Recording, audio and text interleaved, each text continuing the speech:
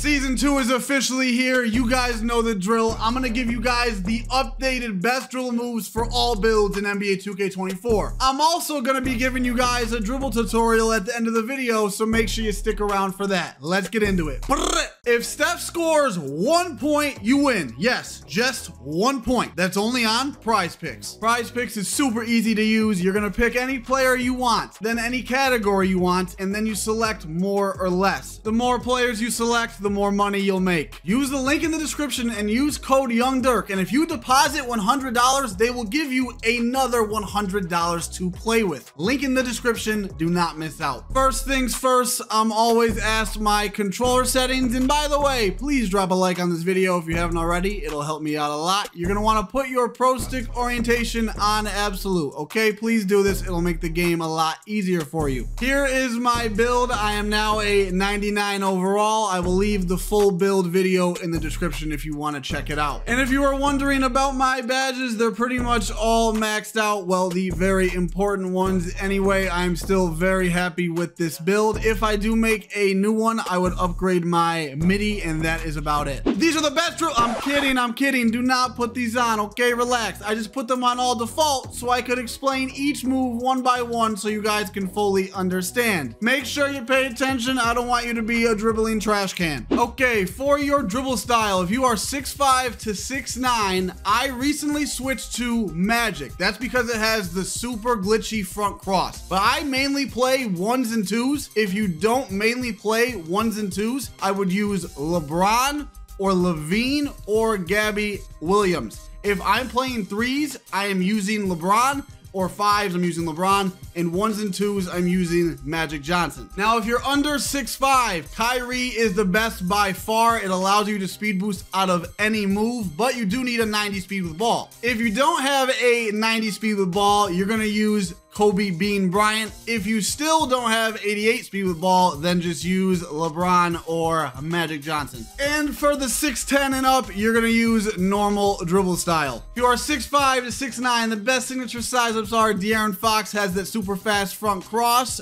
Dwyane Wade, and then the one that I personally use right now is Tracy McGrady. If you are under 6 foot 5, you guys know Steve Francis, okay? It's the best one by far. It's still the best one. It wasn't 23. It will be for all of 24. It is super, super glitchy. If you do not have a 95 ball handle, I know that is very, very expensive. You are going to use, where's the locked animations? This locked? Okay, where the heck? I should just say his name, but I gotta be, Derrick Rose. If you do not have the 95 ball control, under 6'5", use Derrick Rose. And if you are 6'10 and above, you're going to want to use Giannis Antetokounmpo. For your regular breakdown combo, and a lot of people don't know how to do this, it's just flicking up on your right stick without your turbo. But anyway, if you are 6'5 to 6'9", you're going to use Michael Jordan or De'Aaron Fox. My favorite is De'Aaron Fox, and this is what I personally use right now. If you are under 6'5", you're going to use Scoot Henderson. That's what I use on my small guard guard. They did add Wemby if you are 6'10 and above. Let's take a look at it. I think this is super, super good, especially on a big build. So if you are 6'10 and above, Wemby's breakdown combo is the one you're going to want to use. Your aggressive breakdown combo, if you don't know how to do this, it is holding your right trigger and flicking up on your right stick. If you're 6'5 to 6'9, your best options are Kobe, De'Aaron Fox, and I personally use Ja Morant. If you're under 6'5, Kobe, De'Aaron De'Aaron Fox, Scoot, and Ja Morant.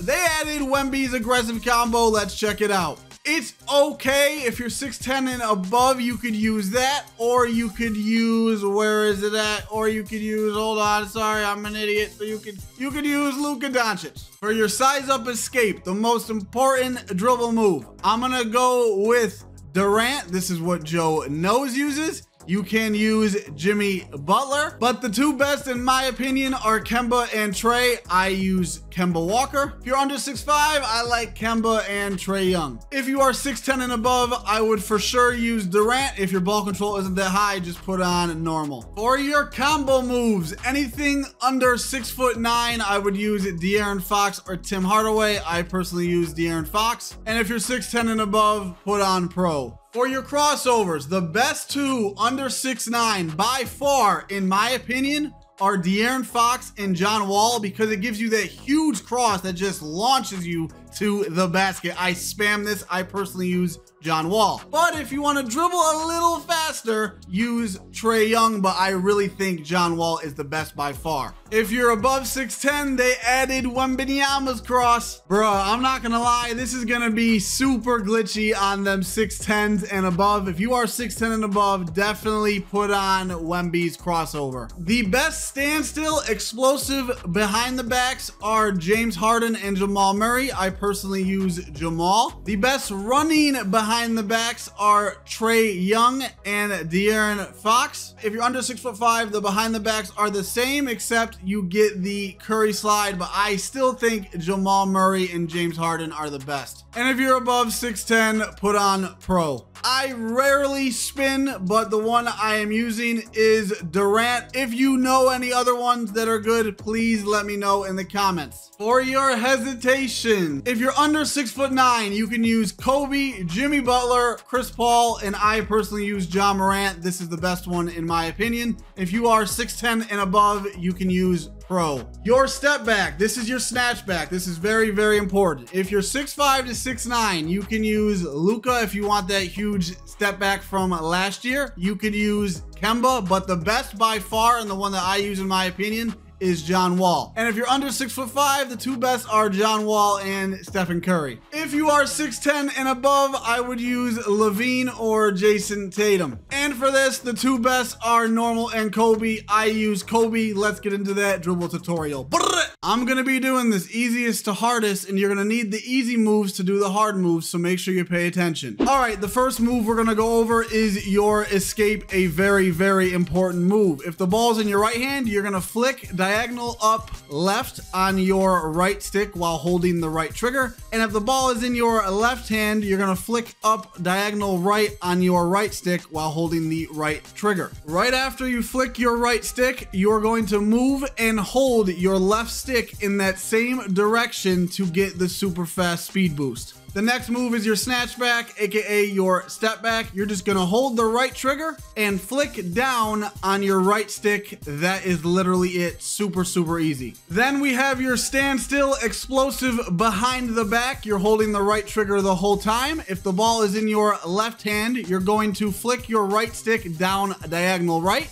And if the ball is in your right hand, you are going to flick your right stick down a diagonal left. The first combo that we have is your escape into your snatchback. It's very easy. You're just going to stand still. You're going to hit your escape. And as soon as you do your escape, just flick down on your right stick. You're holding the right trigger the entire time. The next combo is the snatch into the behind the back. This is super easy. You're just standing still, holding your right trigger the whole time and you're gonna flick down and then flick down again and you'll get the snatch then the whoop the behind the back. This next move is one of the best moves in the game. It's the john wall cross. Anytime i have an open lane to the basket or like an open angle to the basket instead of just running I will hit the John Wall cross. And it'll launch me to the basket and I will get there a lot quicker. Here's how it's done. You're holding right trigger the whole time and as you are sprinting, if the ball's in your right hand, just flick your right stick up diagonal left and if the ball is in your left hand, just flick your right stick up diagonal right, and that is how you do the John Wall cross. This next combo is glitchy. Joe Knows uses it all the time. It's your snatch into your LeBron dribble style cross. You're gonna hold the right trigger the entire time. Let's say the ball starts in your right hand. You're gonna flick down on your right stick to hit the snatch. Then you're going to flick and hold